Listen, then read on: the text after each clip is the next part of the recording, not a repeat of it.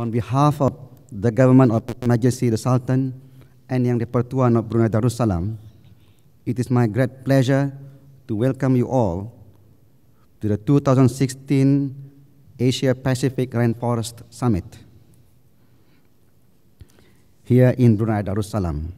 I am pleased to witness your commitments in coming all the way here to participate and share your expertise in promoting the development of and conservation of the rainforests of the Asia Pacific region. I would like to acknowledge with thanks the invaluable support provided by the Australian government in co-organizing this year's Asia Pacific Rainforest Summit. I admire the demonstration of your commitments in attaining the common objectives of these partnerships since its inaugural summit in 2014 in Sydney, Australia. We wish to return the same commitments, or even more, in this Asia Pacific partnership towards the development and conservation of our rainforest resources. I also would like to extend my warmest appreciation to the energetic and creative staff from the department under the Ministry of Primary Resources and Tourism, from the Australian High Commission, from the Center of International Forestry Research, and also Department of Environment and Energy. Your professionalism and hard work are considered a major contribution in making this summit a success. To our sponsors, a very big thanks for your generosity. I'm happy to witness your kindness in supporting the required resources of this summit. I share the output of this summit to all of you as well. I would also like to thank my colleagues from the government sector across the region for being here with us in this summit. Your continuous support and contributions will fuel this initiative and strengthen our position in addressing the challenges brought about by climate change and deforestation. For our private sector counterparts, businesses, civil society groups, academia, international and regional partners, and non-government organizations, I am very happy to see you all here. You have been an inspiration in the delivery of our concrete actions on the grounds. You are, you are all very helpful in reaching out and in binding us to achieve the sustainable management of our rainforest ecosystem. The Asia Pacific Rainforest Summit has the following objectives. Firstly, building political momentum for better forest and landscape management. Secondly, exploring opportunities for environmentally sensitive economic diversification. Thirdly, connecting policymakers, academics, civil society, and private sectors in a regional networks of leaders, sharing knowledge, research, and best practices. And fourthly, increasing public awareness within the region on the values of forests. Ladies and gentlemen, the rainforest ecosystem has served uh, as the building blocks of the Asia Pacific region. History can tell that forestry has been the earliest industry that supported the development of nations through the utilization of timber products for infrastructures and related industries. And until now, our rainforests provides the unparalleled support in mitigating climate change, food security, and other economic potentials. I am glad to mention that at some point, our initiatives in restoring our rainforests have started. The 2015 Global Forest Resources Assessment, FRA, reported that the forests of the Asia Pacific region have increased by 5 million hectares since the year 2000, 2010 and 20 million hectares since the year 2000. With a total forest area of 723 million hectares, the Asia Pacific forests represent 18% of the global forests. According to FRA report, these positive developments can be attributed to the increase in protected areas, forest plantations, and improving quality of forest management in the region. However, despite the increase in the region's forests, FRA 2015 still noted that deforestation and forest degradation remain an important challenge in many countries. Identified drivers of deforestation and forest degradation include agricultural e expansion, infrastructure development, forest product extraction, and forest fires. Ladies and gentlemen, this summit aims to identify practical actions to reduce forest loss while at the same time balancing the development aspirations of the Asia Pacific nations. There's a need for us to refocus our economic activities that would complement our initiatives in rainforest conservation. As such, new opportunities shall be identified for private and public sector investments and partnerships. We are in the 21st century where technological developments are on our fingertips. We should promote efficient utilization of forest resources through appropriate technologies and at the same time encourage the production of forest value-added products. Our rainforests are rich and have the capabilities to provide a wide array of forest goods and services that would cater economic diversification. With the right partnership, technology, and renewable forest resources, we can never go wrong. During our inaugural summit, in Sydney, we discussed on the practical and technical aspects of monitoring forests, combating illegal logging, protecting biodiversity, promoting community and indigenous people participation in forest management, and eliminating deforestation from the global supply chain. In this summit, we will be stepping ahead and will focus our discussions on sustainable financing, opportunities and partnerships, sustainable landscape management, policy frameworks, and green economies.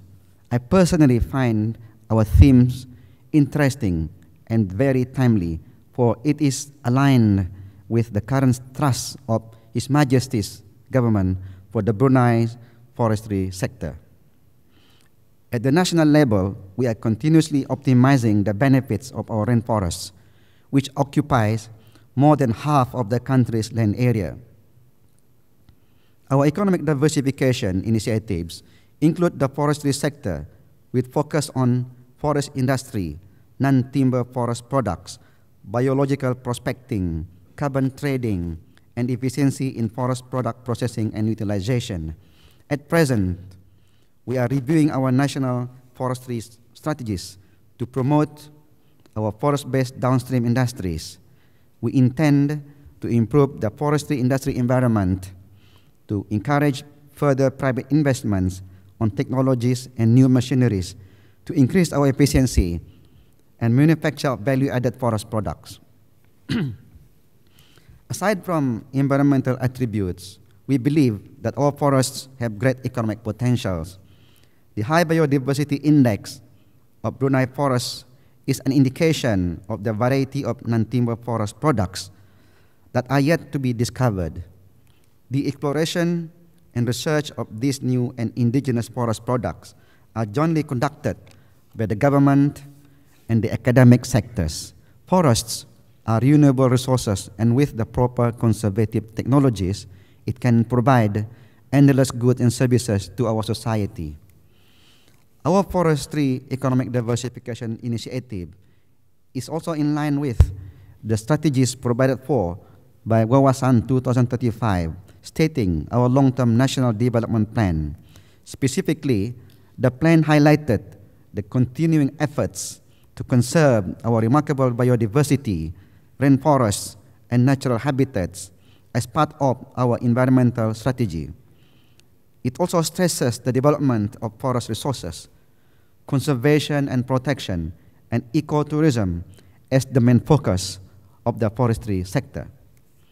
Almost half of our total land area is part of the National Forest Estate. And as part of our commitment to further the integrity of our environment, we intend to increase our forest estate to 55% of our Brunei land area. With this reality and assumed responsibilities, our forestry sector will be welcoming partners from the government and private sectors in the sustainable management of our forests and forest resources. As such, we will need the entrepreneurial and creative minds of the private sectors in developing our forest-based industry. We will be pleased to cooperate in the conduct of research and expedition to understand further our diverse forest and learn new products that are significant to our modern societies. We also believe in the capabilities of our rainforests to sequester carbon as we open our windows to further study our forests in reducing greenhouse gases. With all these development strategies in the forestry sector, our government remains vigilant against the identified drivers of deforestation. As such, we have controlled agricultural expansion and regulated forest conversion for agricultural purposes. The cutting of forests for agriculture development was stopped. Instead, we are focusing on our agricultural initiatives on efficiency of production, thereby increasing the projected yield per hectare. We encourage investments on agriculture technology development and high technology farm practices, including vertical farming. Likewise, our existing regulations on forest product extraction must observe sustain sustainability and promote natural regeneration of forest resources. We have strengthened our forest law enforcement activities through the establishment of multi-agency participation from the police force, from the military, district authorities, and the forestry department. On a sub-regional context, the Heart of Borneo initiative plays an important role in transboundary forest management in minimizing deforestation and the associated loss, associated loss of biodiversity and ecosystem service, services. Brunei's partnership with the Heart of Borneo initiative has connected the country's rainforests into the network of protect, protected areas of the island of Borneo. The partnership boosted our capabilities in promoting sustainable management of forests and other sustainable land uses.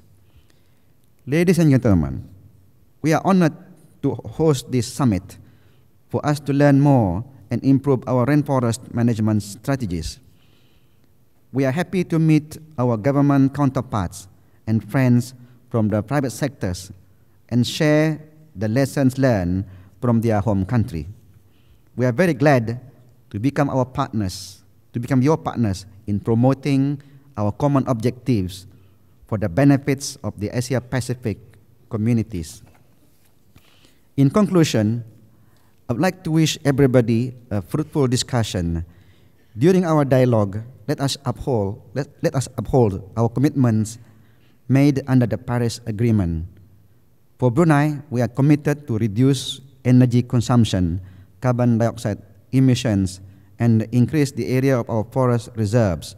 Likewise, I would like to reiterate the fulfillment of our 2030 agenda for sustainable development. Let us end poverty, protect our planet, and ensure prosperity for all as part of our new sustainable development goals. Before I end my remarks, I'd like to take this opportunity to announce the launching of a booklet entitled Bird Watching in Brunei Darussalam 2016, a guide to birds of Brunei Darussalam. The book aims to enhance the country's pristine nature tourism products, focusing on bird watching, which has seen a gradual progression during the last three years. The booklet is intended not only to serve as a general guide for birders on bird species endemic to Brunei, but also as a reference for academics and the public while creating awareness on the importance of wildlife conservation. Ladies and gentlemen, Brunei is small, but we have a lot to offer. I'm inviting you to enjoy your environment, to enjoy our environment, our food, our culture, and our rainforest during your stay here in our country. As the host country, we will be pleased to assist you to have a comfortable stay. Please feel free to move around and bring some sweet memories back home. And with Kalimah Bismillahirrahmanirrahim, I am pleased to officially open the 2016 Asia Pacific Rainforest Summit. Thank you.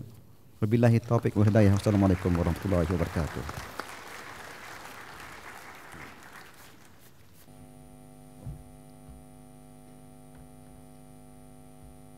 Mm-hmm.